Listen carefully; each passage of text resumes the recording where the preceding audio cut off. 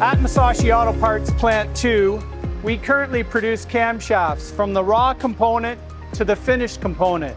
In that process, we have milling, lathing, grinding, and finishing. During these processes, we do create some rejects, potentially visual defects that we detect during our process. Final visual inspection of a camshaft is a daunting task. All the ground surfaces and machine surfaces must be visually checked. During this task, an associate must rotate the part, inspect the part, and ensure that there are no defects. The visual inspection process does have a lot of inconsistencies.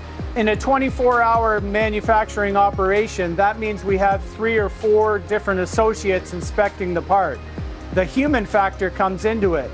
Musashi is trying to progress into the future with an AI system to check the part. The consistency would greatly improve by just having a system measure the part and check the part.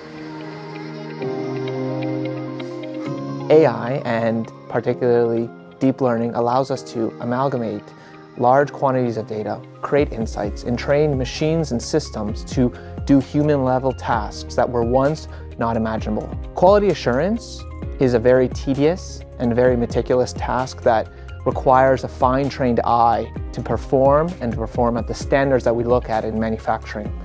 These deep learning systems that we create take the data, take the quality standards, and take all that requires in this large problem and puts it into a system that can run in real time, that can provide insights, analysis, and provide future updates to what needs to improve in the entire manufacturing process in order for us to drive more value to the customers as a manufacturer.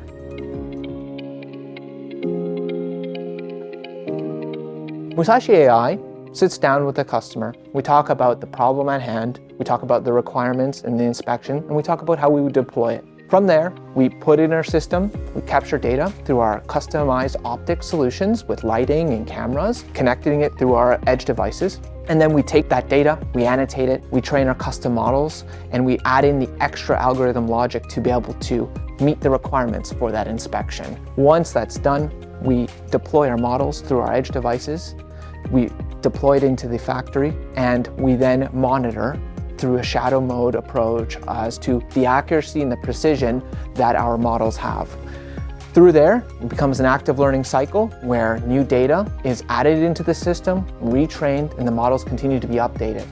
Over time, the models improve accuracy and there reaches a point where we've hit the human level accuracy in which then we call this project a success and then we can do final deployment.